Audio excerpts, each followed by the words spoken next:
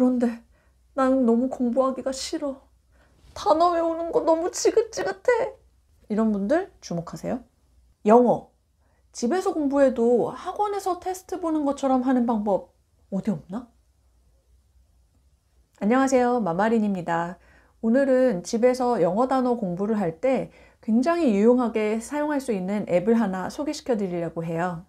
요즘은 영어 공부는 학원에서 대부분 테스트를 봐주다 보니까 억지로라도 외워야 할 때가 상당히 많죠. 그런데 집에서 공부할 때는 어떠세요? 학원에서 공부할 때보다는 훨씬 더 편하고 자율적으로 공부하는 경우가 상당히 많죠.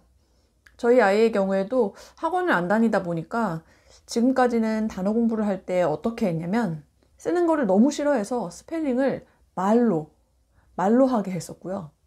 틀린 거는 딱 두 번밖에 안 봤었어요. 세 번 이상 하면 진상부립니다.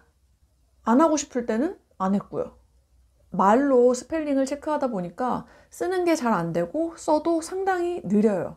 그리고 반복 학습이 안 되니까 틀린 단어를 외우는데 상당히 시간이 많이 걸리고요. 그리고 꾸준히 안 하니까 금세 까먹더라고요.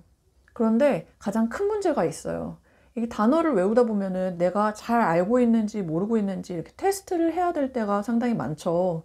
그런데 그 테스트를 하기가 너무너무 어려운 거예요.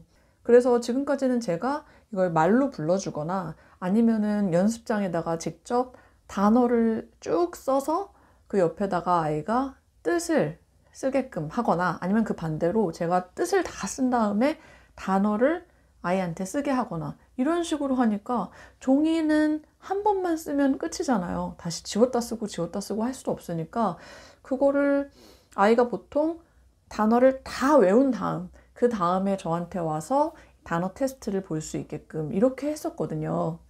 그런데 여기에서 상당히 갈등이 많아요. 아이 입장에서는 이게 어, 테스트하는 것도 싫고 외우는 것도 싫은데 하긴 해야 되니까 되게 오랜 시간 동안 꾸역꾸역 해가지고 테스트를 보러 와요.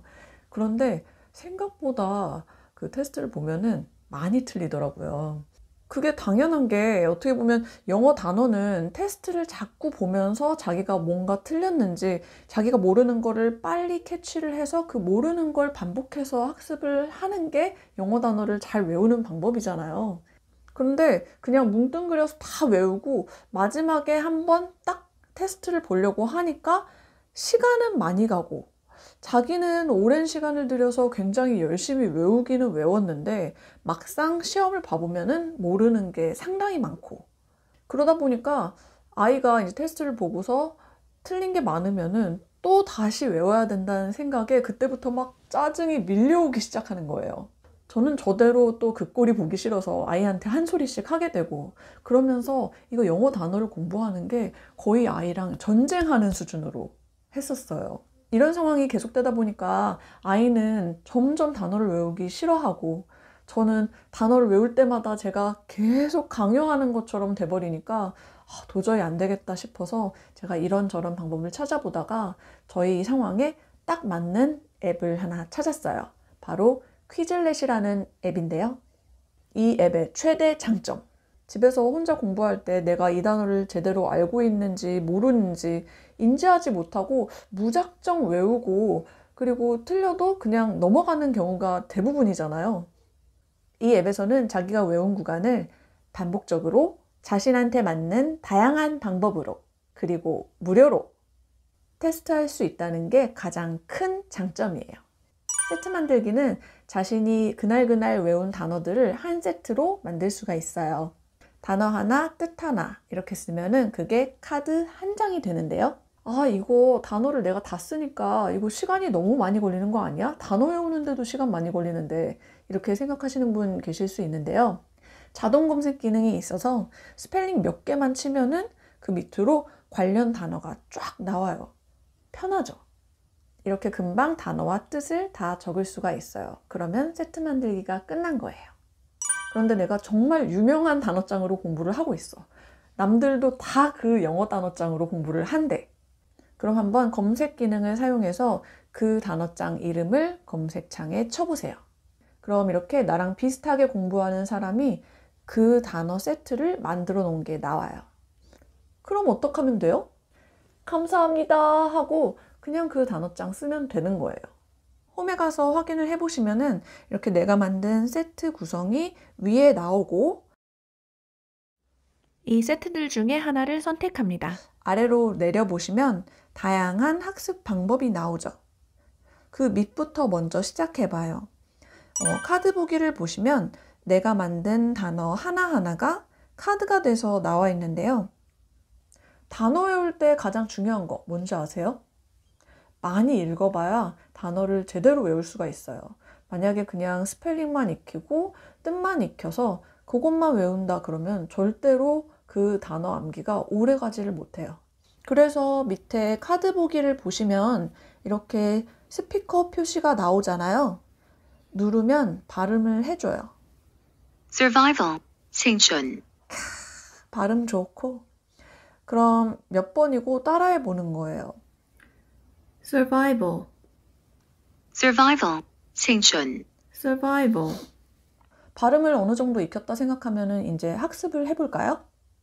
학습하기를 누르면 이 학습 세션의 목표가 나오고 자신의 목표를 선택을 하면 자신의 수준에 파악을 해서 문제를 초급, 중급, 고급 이렇게 나눠서 내줘요. 그런데 그렇게 나눠서 내주는 건 유료고 어, 밑에 학습하기 모드로 건너뛰기를 하면은 이렇게 객관식으로 문제를 맞출 수 있게 나오고요. 주관식 메뉴로 들어가면은 내가 단어 스펠링을 모두 외웠는지 테스트를 해볼 수가 있어요. 단어 뜻이 모두 표시가 되어 있으면 거기에 맞는 단어를 적으시면 되는데 나는 반대로 단어 뜻을 테스트하고 싶다 하면은 설정으로 들어가셔서 답변을 한글로 체크를 하시면 영어 단어가 나오고 그리고 그에 맞게 뜻을 쓰시면 되겠습니다. 받아쓰기는 스피커를 눌러서 소리를 듣고 스펠링을 쓰시면 돼요. approve, approve.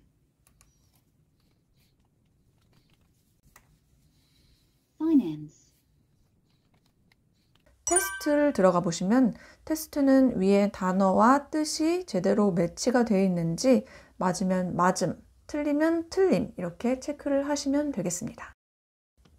만약에 다른 문제로 하고 싶으면은 테스트를 하기 전에 옵션에서 주관식으로도 해볼 수가 있습니다. 주관식으로 바꿔볼게요. 테스트 시작.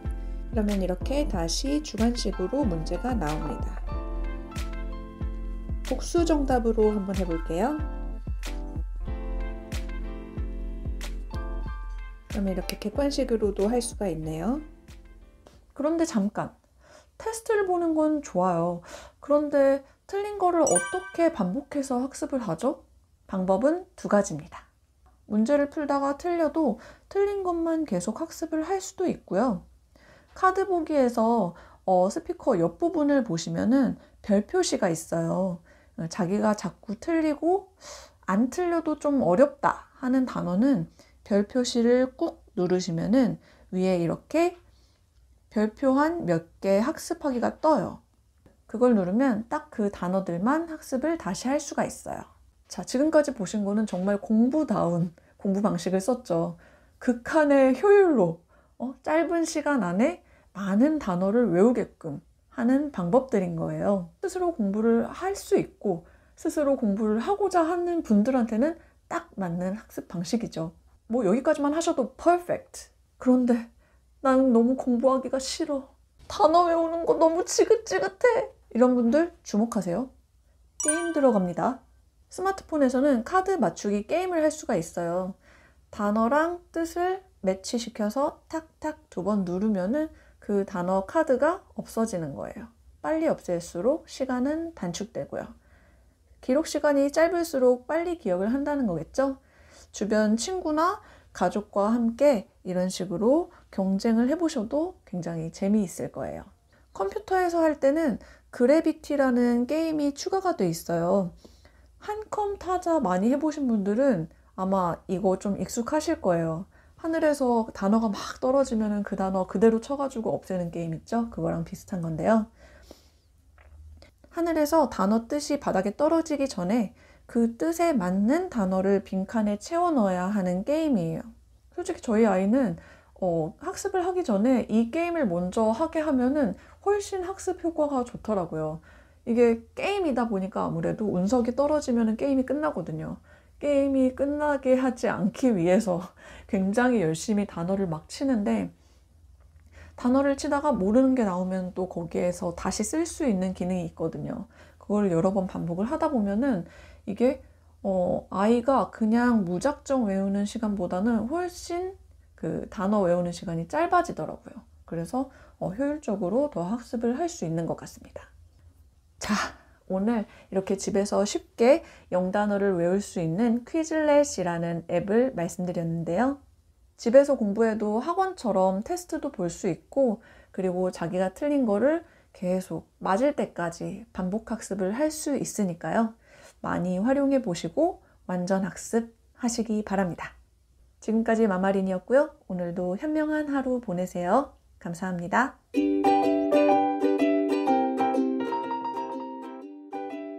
맞추기? 준비 시작. 작. 너가 해. 많은 양 덩어리 집단 대중 mass policy 정책 어디 갔어. 정책 고갈된 고갈된 exhausted series series.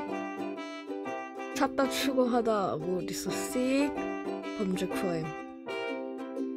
어. 그럼 내가 16.2초 내가 한다 16.2초였지? 16.2초야. 준비 시작 comedy. 아 policy 어딨어? 어 어딨어? 어이? 아, 아 어, 잠깐만. 시야가 좁아. 어 이렇게 하니까 좀 어려운데? 절대적인. 어딨어 absolute 시리즈 시리즈. 고갈된 exhausted 이겼다! 아! 지금 내가 지다니 아 근데 한 번만 더 시도해보세요. 왠지 16.2초를 깰 수 있을 것 같아. 다시 해볼래? 그래. 좋아. 내가 아 이 카드 뒤집기로 하는 게 아니라서 어렵네. 잠깐 다시. 익서스트 호잇! 고갈된 커미디.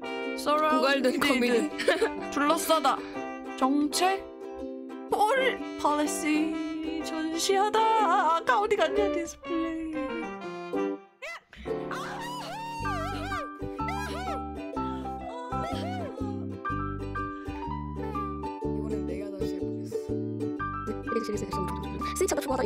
버리죠 아 이번에 마우스 다루는 거에서 조금 문제가 있다고 생각해 내가. 스마트폰을 꼭 누르는 걸 잘하는데